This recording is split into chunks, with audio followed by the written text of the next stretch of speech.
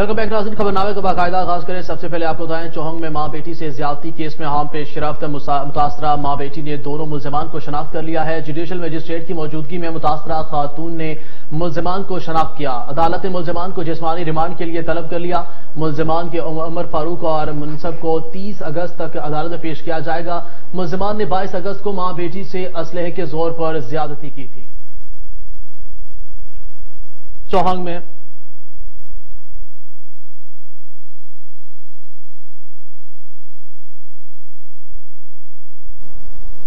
जहांगीर तरीन ग्रुप को बड़ा झटका। तरीन ग्रुप के तेरह अरकीन की इमरान खान से मुआफी मांगने के लिए कोशिशें। माफ़ी की कोशिश करने वाला अरकीन में से नौ का ताल्लुक जनूबी पंजाब से है। जराये के मुताबिक अरकीन वजी आज़म के करीबी पार्टी रहनुमाओं के ज़रिए रबते कर रहे हैं। तरीन ग्रुप के अरकीन को वजी आज़म से मुआफी मिलना मुश्किल इंतबात में तरीन ग्रुप को पीटीआई के टिकट भी नहीं मिलेंगे। इस हवाले से बात कर लेते हैं नुमाइंदा रोज न्यूज़ कासम अली हमारे साथ मौजूद है। जी कासम, इस हवाले से आगाह कीजिएगा तफसीत सर आपको बताएँ जहांगीर तरीन ग्रुप को बड़ा झटका। जहांगीर तरीन ग्रुप के तेरह अरकीन की इमरान खान से माफ़ी मांगने के लिए कोशिश। माफ़ी की कोशिश करने वाले अरकीन में से नौ का ताल्लुक जनूबी पंजाब से है। जराये के मुताबिक अरकीन वजी आज़म की करीबी पार्टी रहनुमाओं से ज़रिए से रबते कर रहे हैं। इस हवाले से हमारे साथ मौजूद है नुमाइंदा रोज न्यूज़ कासिम अली। जी कासिम अली, इस हवाले से आगाह कीजिएगा।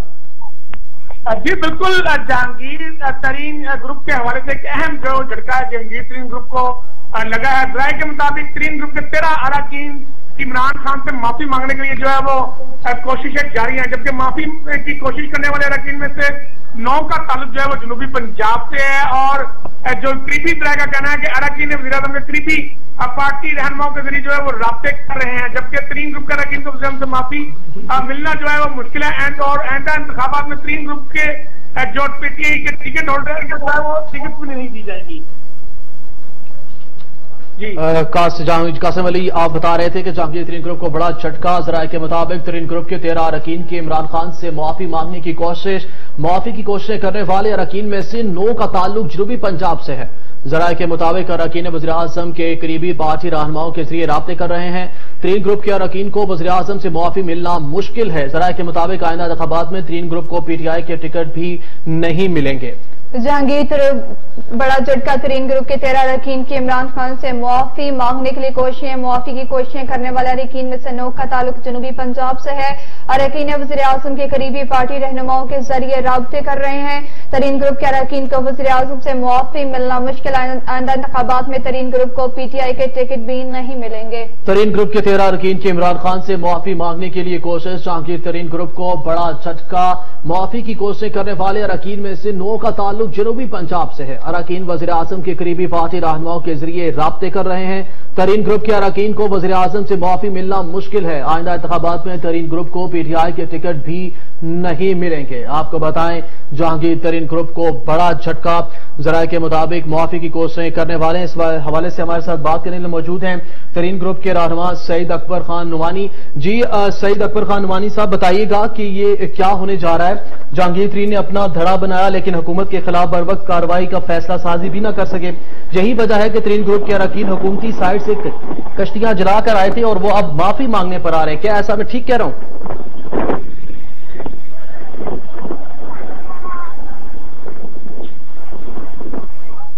सर, आपको आवाज़ आ रही है?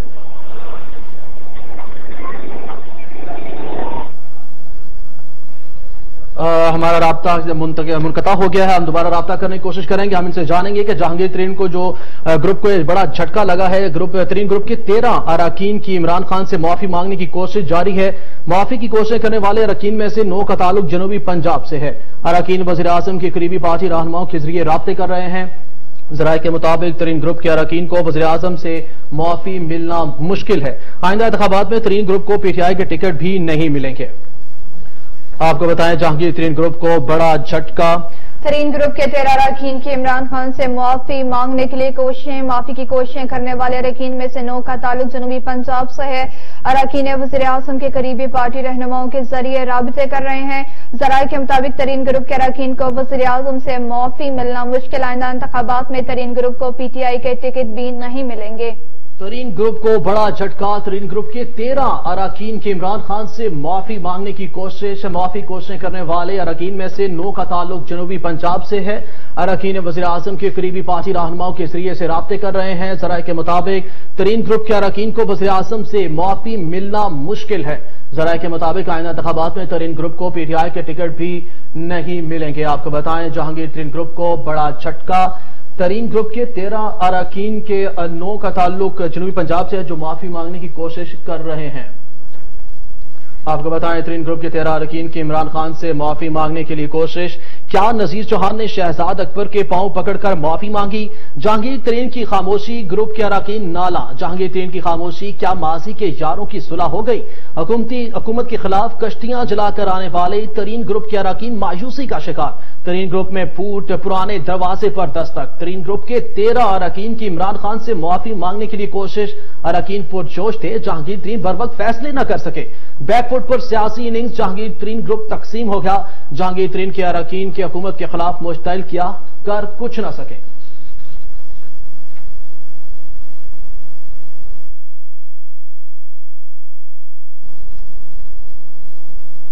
आगे बढ़े, आपको बताएँ सिलेक्टेड हुकूमत हर तरफ़ से हमला हमलावर मुल्क में महँगाई का राज है। बिलावल भुट्टो कहते हैं, हुकूमत अवाम की मुआशी कत्ल पर उतर आई है। पीपी चेयरमैन ने कहा कि कोई जमात सिलेक्टेड का मुकाबला कर सकती है तो वो पीपल्स पार्टी है। बिलावल भुट्टो ने कहा कि मुल्क में कोई जमात अपोजिशन कर सकती है तो वो पीपल्स पार्टी ही है। ये खान साहब की पहली और आखिरी हुकूमत है।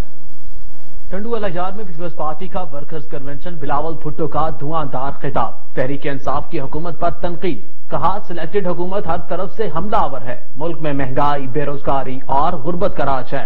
अवाम का मुआशी कत्ल किया जा रहा है। हुकूमत ने पाकिस्तान स्टील बंद करके दस हज़ार खानदानों को बेरोजगार कर दिया। एक ही सूबा है जहाँ पब्लिक सर्विस कमीशन पर ताला लगा हुआ है। पीपी चेयरमैन ने कहा कि ये खान साहब की पहली और आखिरी हुकूमत है। जब से ये हुकूमत आया है तब से बेरोजगारी शुरू हुआ है। तब से गुर्बत में इजाफा हुआ है। तब से महँगाई में इजाफा हुआ है। जिस तरीके से इन्होंने स्टील मिल्स जो कायदे आवाम का करनामा था, स्टील मिल को बंद कर दिया, वहाँ का दस हज़ार खानदानों को बेरोजगार कर दिया, पूरा मुल्क में पब्लिक सर्विस कमीशन चलता है। आपको भी पता है कि पब्लिक सर्विस कमीशन क्या है। एक ही सूबा है जहाँ पब्लिक सर्विस कमीशन पे ताला लगा हुआ है। ये खान साहब की, ये खान साहब की पहली हुकूमत है। ये खान साहब की आखिरी हुकूमत भी है। बिलावल भुट्टो ने कहा कि कोई जमात सिलेक्टेड का मुकाबला और अपोजिशन कर सकती है तो वो पीपल्स पार्टी है। जब पाकिस्तान के अवाम का वोट का मौका मिलेगा तो इन ताला वो पाकिस्तान पीपल्स पार्टी के साथ देंगे और सारे नाकाम नालायक नाअहल तरीन सिलेक्टेड को भगाएँगे पीपी चेयरमैन का कहना था कि क्या हमारी किस्मत में लिखा है कि हमेशा गरीब ही रहेंगे? मजीद खबरें होंगी ब्रेक के बाद। आप साथ रहें।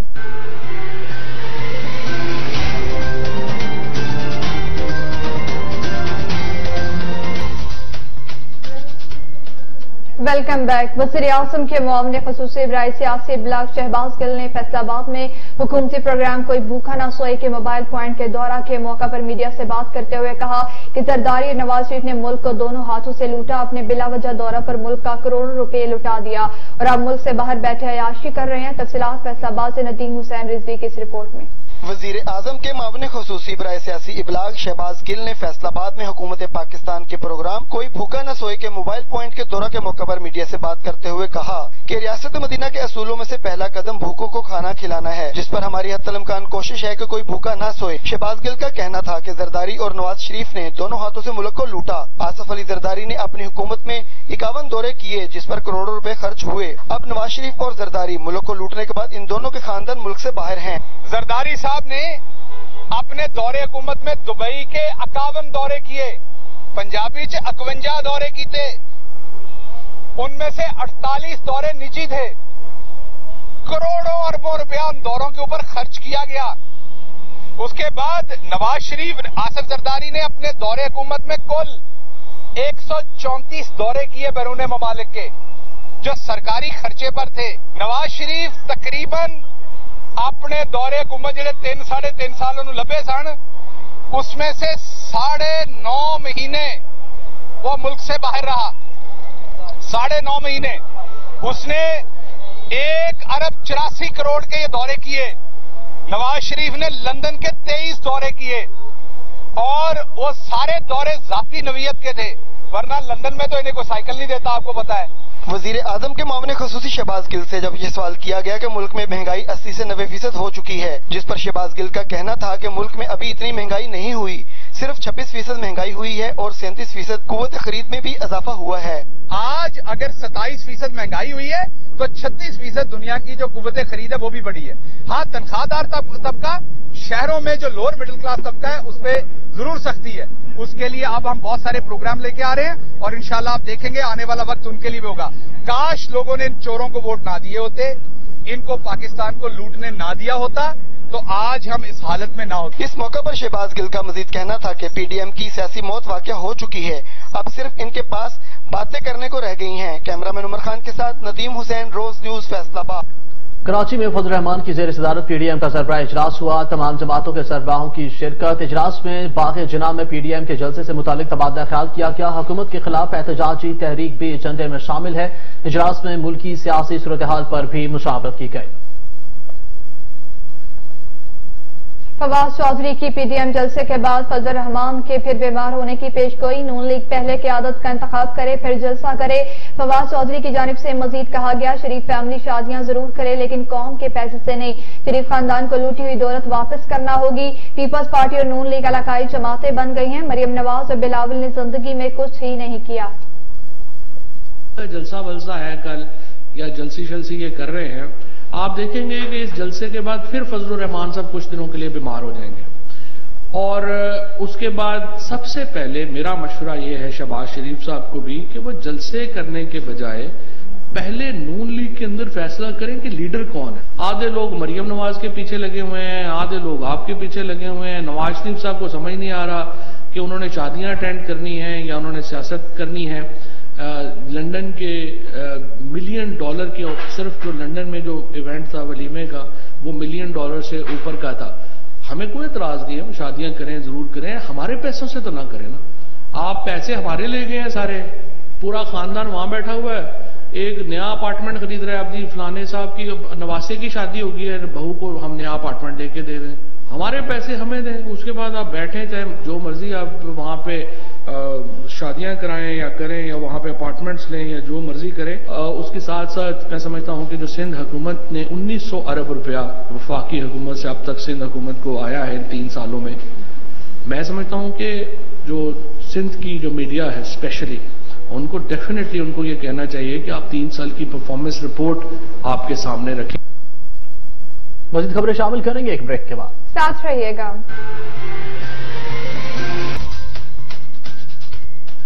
वेलकम बैक नाजीन आपको बताएँ मौलाना फजल रहमान की जेर सदारत पीडीएम का इजलास हुआ, जिसकी अंदरूनी कहानी सामने आ गई। मौलाना फजल रहमान ने कहा कि हुकूमत के खिलाफ फैसला कौन, तहरीक चलाई जाए। अब पानी सर से ऊँचा हो चुका फजल रहमान ने कहा है कि मौलाना फजल रहमान कहते हैं कि इस्लामाबाद तक लॉन्ग मार्च करने की तजवीज भी दी गई है। जराये के मुताबिक फजल रहमान की एक बार फिर पार्लियामेंट से इस्तीफों की भी तजवीज सामने आई आपको बताएँ, मौलाना फजल रहमान की जेर सदारत पीडीएम का इजलास, अंदरूनी कहानी सामने आ गई। एक बार फिर जराये के मुताबिक ये बताया जा रहा है कि मौलाना फजल रहमान की इस्लामाबाद तक लॉन्ग मार्च करने की तजवीज दी गई है। फजल रहमान ने एक बार फिर पार्लियामेंट से भी इस्तीफों की तजवीज दी है। उन्होंने कहा कि अब पानी सर से ऊँचा हो चुका है। हुकूमत के खिलाफ फैसला कौन तहरीक चलाई जाए। फवाद चौधरी को सिर्फ़ वफादारियाँ तब्दील करने का तजर्बा है। पीपी रहनुमा शाजी अमरीका फवाद चौधरी की प्रेस कॉन्फ्रेंस पर रद्द अमल विफाकी वज़ीर को खुद नहीं पता होता कि दो घंटे बाद किस पार्टी में होंगे। जिनको सिंध के अवाम बार बार मुस्तरद करते हैं, वो पीटीआई में है। शाजी अमरी की जानब से मजीद कहा गया, सिंध में तहरीक इंसाफ का मसनू वजूद है। गमले में उगाई हुई पीटीआई गमले में ही सड़ चुकी है। इलेक्शन कमीशन का इलेक्ट्रॉनिक वोटिंग मशीन पर अदम इतमान का इजहार हुकूमत की तैयार करता ईवीएम इलेक्शन कमीशन के मैार पर पूरा न उतरी। जराये के मुताबिक वजारत साइंस और टेक्नोलॉजी हुकाम इलेक्शन कमीशन को मुतमिन करने में नाकाम रहे। वजारत साइंस और टेक्नोलॉजी ने एतराजा दूर करने के लिए वक्त मांग लिया। इलेक्शन कमीशन के सॉफ्टवेयर, क्वालिटी, सिक्योरिटी और मैन्युफैक्चरिंग पर सवाल उठा दिए गए। ईवीएम की टेस्टिंग, डिज़ाइन, टेक्निकल फ़ंक्शन की तफसीत भी तलब कर ली गई हैं। जराये के मुताबिक मौजूदा सूरत में वोट की राजदारी बरकरार नहीं रहेगी। इलेक्शन कमीशन को यह खदशा है। इलेक्शन कमीशन ने सवाल किया कि ईवीएम का डाटा कहाँ स्टोर होगा? हुकूमती तैयार करदा ईवीएम इलेक्शन कमीशन के मैार पर पूरा ना उतरी इजलास में वजारत साइंस और टेक्नोलॉजी हुकाम इलेक्शन कमीशन को मुतमिन करने में नाकाम रहे। इलेक्शन कमीशन के एतराजा दूर करने के लिए वजारत साइंस और टेक्नोलॉजी ने वक्त मांग लिया। इलेक्शन कमीशन ने ईवीएम टेक्नोलॉजी के सॉफ्टवेयर क्वालिटी सिक्योरिटी और मैन्युफैक्चरिंग पर सवाल उठाए।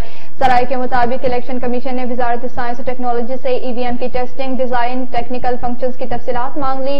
इलेक्शन कमीशन को खदशा है कि इलेक्ट्रॉनिक वोटिंग मशीन की मौजूदा सूरत में वोट की राजदारी बरकरार नहीं रहेगी। ईवीएम का डाटा कहाँ स्टोर होगा? हुकाम वजारत साइंस टेक्नोलॉजी ने बताया कि बैक वक्त सिर्फ़ बीस उम्मीदवारों में से एक को टिक करने का ऑप्शन ईवीएम पर दस्तियाब होगा। बीस उम्मीदवारों से ज़्यादा की सूरत में नई वोटिंग मशीन लगाना होगी। कौमी और सूबाई असम्बली के हल्कों के लिए अलग अलग वोटिंग मशीन दरकार होगी। वजारत साइंस और काम इलेक्शन कमीशन के सवाल और खदशात का तसली बख्त जवाब ना दे सके। वजारत साइंस और टेक्नोलॉजी उजागर की गई गलतियाँ दूर करके दोबारा इलेक्शन कमीशन को डेमो देगी। वज़ीर अला पंजाब उस्मान बजार से विफाकी वज़ीर आबी वसाइल चौधरी मोना सलाही ने मुलाकात की है, जिसमें बाहमी दिलचस्पी के अमूर और सियासी सूरत हाल पर तबादला ख्याल किया गया। इस मौका पर वजी अला उस्मान बुजदार का कहना था कि वजी अजम इमरान खान की क्यादत में पाकिस्तान मुआशी तरक्की की राह पर गामजन हो चुका है। मौजूदा हालात में इंतज़ार की सियासत की कोई गुंजाइश नहीं, मायूसी का शिकार अपोजिशन अवाम को गुमराह नहीं कर सकती। तनकीद की परवाह किए बगैर अवाम की खिदमत के सफ़र को मजीद तेज़ी से आगे बढ़ाएँगे। मुस्लिम लीग काफ हमारी तहादी है, मोना सलाई का कहना था कि अवाम को मजीद सहूलतें फराहम करने के लिए मिलकर काम जारी रखेंगे। हमारा नस्बोलैन सिर्फ़ अवाम की खिदमत है। वजी अला पंजाब उस्मान बुजार की क्यादत में पंजाब हुकूमत ने बेमिसाल डिस्ट्रिक्ट डेवलपमेंट पैकेज का ऐलान किया। हुकूमत ने अपने तीन साल मुकम्मल होने पर कारकर्दगी रिपोर्ट पेश की है, मगर तब्दीली सरकार की कारकर्दगी से शहरी कितने मुतमिन है और कारकर्दगी को कैसे देखते हैं, बता रहे हैं लाहौर से उबैद खान अपनी इस रिपोर्ट में। हुकूमत तो अपनी तीन साल कारकर्दगी से बहुत मुतमिन है। क्या आवाम भी हुकूमत की तीन साल कारकर्दगी से मुतमिन है? आइए उनसे बात करते हैं। हम है ही नहीं मुतमिन क्योंकि ये नीचे से ऊपर जा ही नहीं रहे ऊपर से नीचे आ रहे हैं। हालाँकि सबसे पहले जो कंट्रोल करना चाहिए वो महँगाई पे करना चाहिए ताकि गरीब आदमी तक उसका कोई असर पहुँचे। पहले भी माशाल्लाह ठीक था लेकिन अब से सभी कुछ महँगा हो रहा है गरीब लोग क्या करें? तो इमरान खान को चाहिए कुछ प्यार मोहब्बत सभी से करना चाहिए। कोई मुतमीन नहीं है जितनी महँगाई है। हम लोग तो फिर भी अपने घरों में रह रहे हैं और रेंट पे रह रहे हैं उनका सोचे हैं वो बेचारे कैसे ज़िंदगी गुजार रहे हैं। उनका भी सोचना चाहिए। हम इस हुकूमत से मुतमीन नहीं है। गरीब बंदे वही लेने अखीर करते है। महँगाई इंदी भी बंदा रोटी नहीं टाइम ना खा सकता। अपने बच्चों जुत्ती कपड़ा लीड़ा नहीं लिया के दे सकता। महँगाई इतनी हो गई है कोई समझने पूछने वाले कोई नहीं है। क्या कर रही है हुकूमत हुकूमत को जब पूछे कह रहे हम सही कर रहे हैं। कर कुछ भी नहीं रही। तीन साल में जहाँ हुकूमत ने मुल्क कौम के लिए बेहतरी के बहुत सारे इकदाम किए हैं वहीं पर शहरियों ने मुसलसल बढ़ती महँगाई को हुकूमत की नाकामी ठहराया है। कैमरामैन नदीम खोकर के साथ Ubaid Khan Roze news Lahore. News studio से फिलवा के लिए इतना ही। देखते रहिए रोज न्यूज़।